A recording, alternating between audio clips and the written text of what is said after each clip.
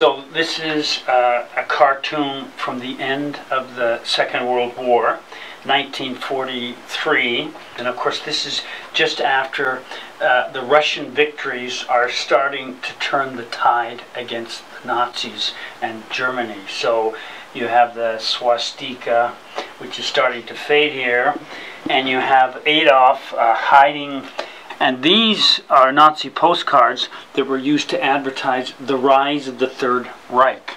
And here, the idea is a new sun day is dawning. That's what the sun rising means. And it's a day of Nazism. And now you have a new sun rising, which is the sun of Russian victories. And you can see this is an original.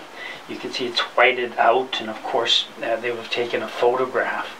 Um, but it's a very special part of my collection.